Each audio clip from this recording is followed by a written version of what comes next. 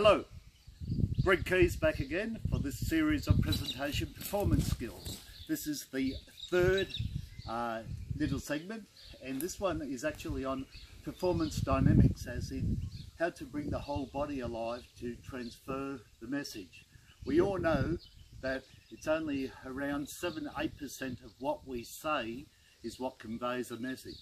The rest is 93% of the body, tone, inclination, the way you say it, the highs and lows, uh, so many different things, the power of silence.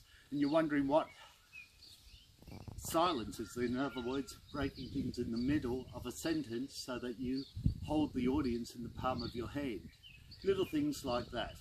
Well, what I'm going to do is a series of four little characterizations. This is something you can do at home, obviously, you may feel a little bit silly, and particularly for auditory communicators, because they're, they're the people that actually find it very hard to actually feel comfortable in front of an audience and away from a lectern or away from a book, so that they're actually have fun with what they're doing so they can jump around and make people laugh. And this is a good way of actually breaking that down so that you start feeling a little bit relaxed. I'm going to do four characters. The first character is, uh, they're all characters I've done from different shows. And the first one is Dr. Carrasco uh, from the Knight of Mirrors segment of Man of La Mancha. Then I'm going to turn around and come out and do the first character in the first professional show I ever did, which was Wind in the Willows, Dear Old Badger. They're all only little segments, otherwise this video will go on for ages.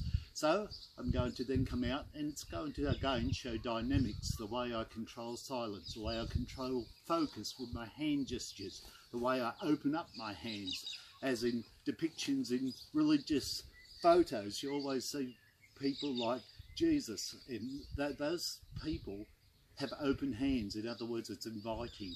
A stage proscenium, for instance, is an open type book. So you invite people in. That's what you do in performance techniques. The third character I'm going to do is, hmm, let me think. Knight of Mirrors, nice character, dear old, I, I don't know. I did a musical called My One and Only, and I did a character called Mr. Magix, uh, and it's set in New York, around Broadway, and uh, so I do that character. And then I'm going to finish off with a character uh, from a lovely musical called Fiddler on the Roof. The character is Tevye and again it just shows a little inclination to link in with the highs and lows in tonal quality that are covered in the first and second sections of projection and articulation and using little accents and that. And I'm the worst person in the world for accents. But it gets the old mouth and articulation and the muscles working. So let's start. Is there one here that calls himself Don Quixote de la Mancha?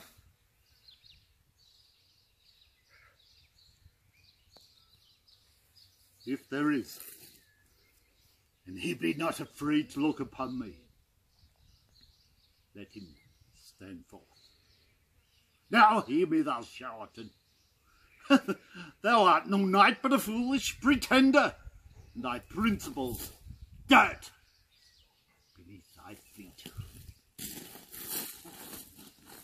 Now, the very next time this happens, I shall be exceedingly angry. I, I've had to speak about it before, and I don't want to have to speak about it again. But, I will not have somebody sitting down on me in such an independent sort of a way. Now, who is it this time?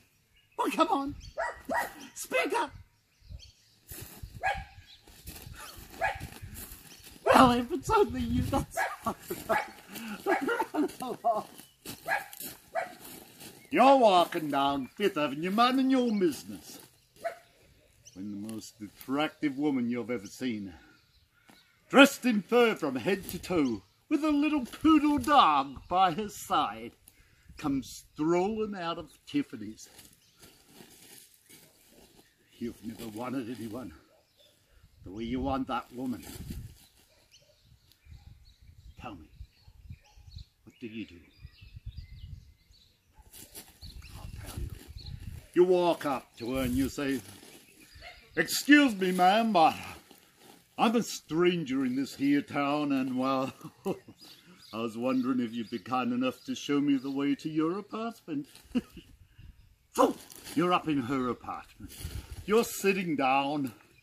Her little poodle dog wants to play, and she says, I'll go and slip on something a little more comfortable. And while she's out of the room, you pick up a ball and you throw it, and the poodle dog brings it back. You throw it again, and the poodle dog, he brings it back again. You throw it again. The ball goes out the window. The dog goes out the window. And she lives on the 32nd floor. What do you say when she returns? No, no, no, you don't say anything. You take a ride out to a fancy restaurant, and whilst you're casually buttering your roll, you say, You know, your dog seemed very depressed this evening. A fiddler on the roof. Sounds crazy, no? But all of us is a fiddler on a roof, trying to scratch out a simple little tune without getting his feet wet. Now, you may ask, why does he stay up there if it is so dangerous? He stays because it is tradition. And apart from our traditions, we all have our dreams. One of those dreams is that this man should be a rich man. if I were a rich man, diddle diddle diddle diddle diddle diddle diddle dum. And there, ladies and gentlemen, is highs and lows, different sizes in performance realms. Notice how I went down lower in performing Dear Old Badger in little snippets of Tevye, but I opened myself up when doing the Knight of Mirrors from Mena Manja. Control of focus with my hands. Power of silence by stopping things in the middle. So many different dynamics that you can do just by taking little characterizations, practicing in front of a mirror and watching yourself. Thank you very much, and that's it for today. A little bit cooler today too.